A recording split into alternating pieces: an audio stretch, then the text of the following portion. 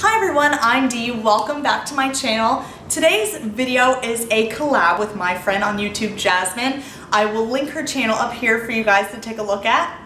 And we are going to be doing bold fall looks for you. I am going to be doing a bold lip, obviously, and she's going to be taking care of the bold eye look for you. All of these looks are great to wear in the fall, and we were really excited to do this video to sort of ring in the fall makeup.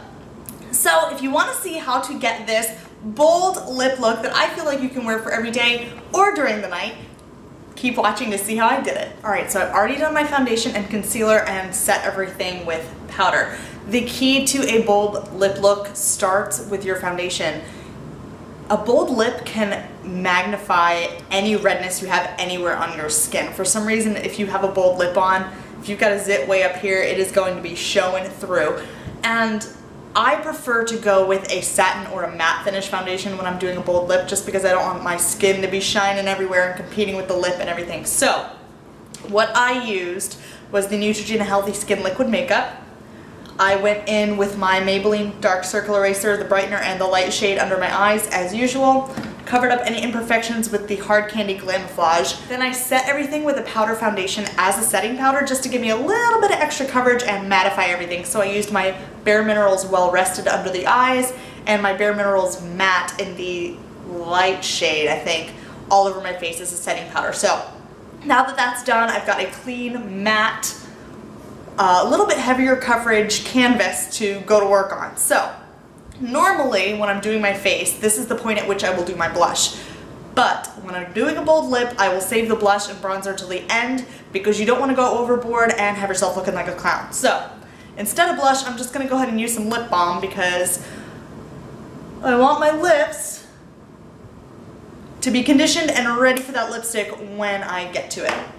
So, now I'm going to do my eyes because even though you don't want the eyes to compete with the lips, you do have to add a little bit of definition up there so your face looks balanced.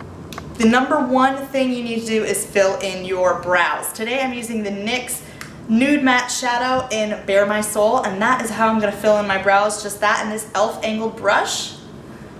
And I'm just going to fill in the arch area first, because that's where I want the most color. And then I could fill in any other sparse areas as I go along. Now I'm not making my brows any thicker or really bold or anything. Um, I'm just filling them in so they add a little balance to my face when I put that bold lip on.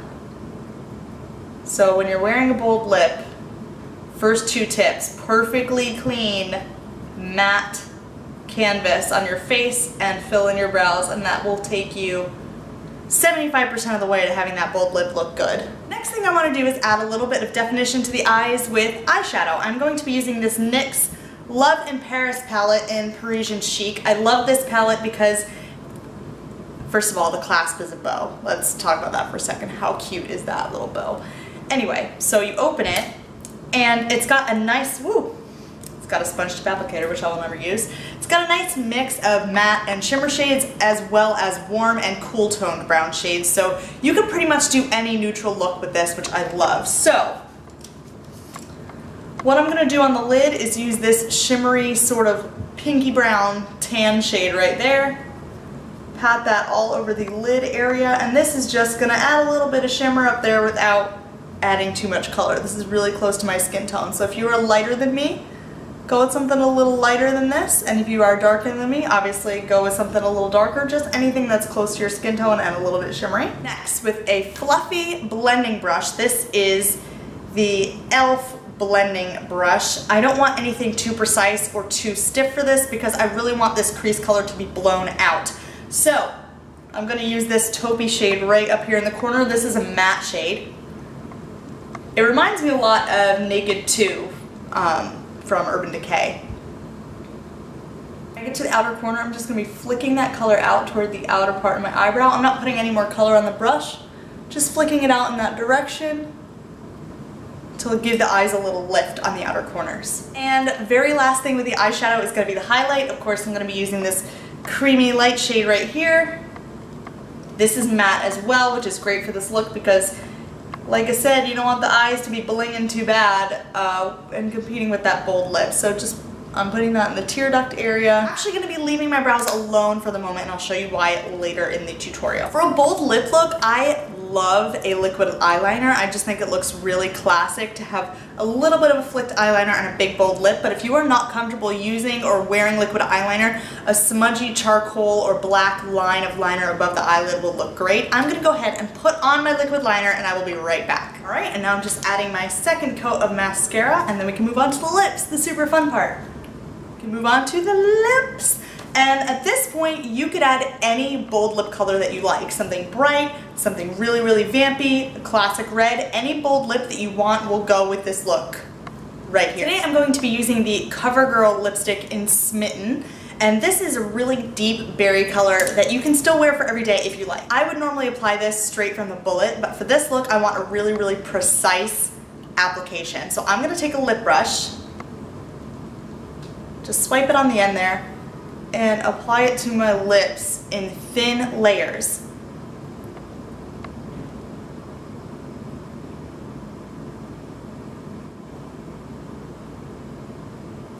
Okay. So now that I've got the first thin layer on with the lip brush, I'm going to go ahead and apply it straight from the tube.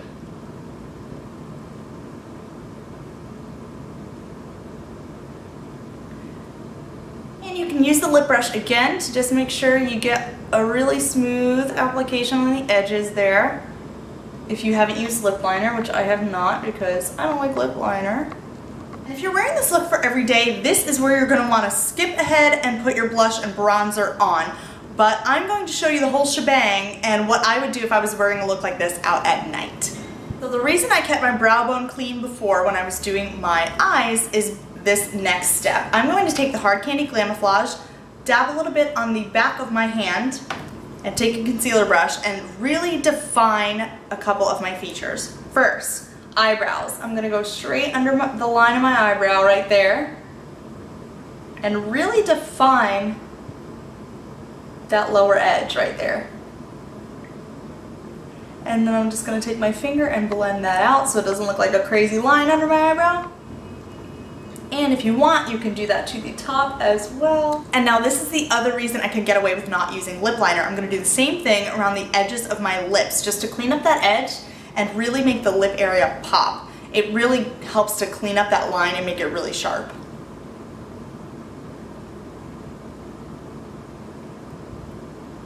So I'm gonna basically be using it on the very outer edge of my lips And then using the brush, I'm going to blend it down like that. Be careful not to drag any of that lipstick out further.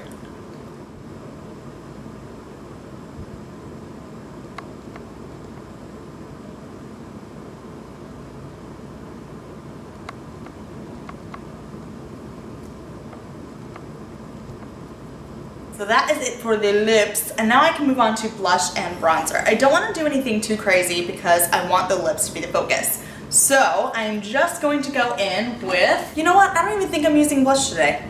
Go figure. So I'm going to take an angled blush brush though and take my NYC Sunny bronzer and just apply that like I would apply a really contoured blush. Kind of under the cheekbones and up onto them.